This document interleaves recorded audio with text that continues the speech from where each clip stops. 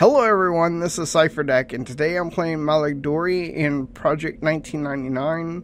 I'm in the Dreadlands at the Yeti Caves with my friend Gottajiboo, and um, we are doing pretty well. I mean, these mobs, they die pretty fast, and they spawn really fast. So I think it's supposed to be a six minute timer, but there's nine mobs in this uh, camp. So there's one that um, will be spawning um, in a second here, I believe.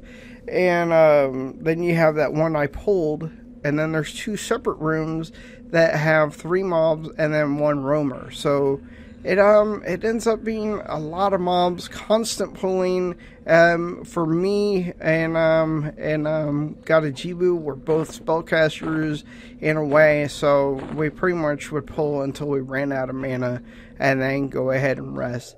I made a good um 10% while I was here. We weren't here that long actually, and also made probably about a hundred plat because uh, we, I didn't loot very many, and I don't think he looted very many either.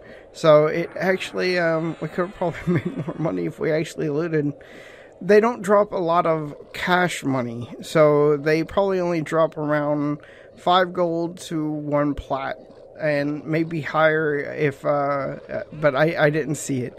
But either way, the reason we were here was for experience, and it was really well worth coming here. So definitely a great place to check out. To get here, whenever you're coming out of the tunnel from where the um, porters are, uh, the rings for the druids and the spires for the wizard, it, eh, you would take a left and then head up the mountain, and that's how you would find this place. It's kind of out of the way, but it's actually pretty easy to find if you go in the direction that I just told you. So we stayed here for, like I said, maybe an hour, maybe two. Got uh, pretty well into our levels, and then uh, went ahead and headed out. I really just wanted to do a short video, just showing you guys this place.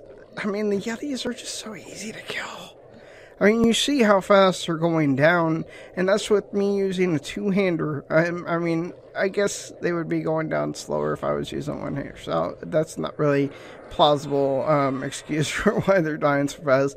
They just don't have the hit points. It's almost like taking on Trents, except they don't cast. They do hit hard though, uh, which is why I probably couldn't solo this if I wanted to. I mean, I could fear kite it, but I mean, the amount of time it took, I'd rather just go and find a group and uh, do it that way. But anyway, guys, I just wanted to show you guys this place off. If you have any questions or want me to go and check out any other zones, let me know. Thank you so much. This is Cipher Dec. Peace out.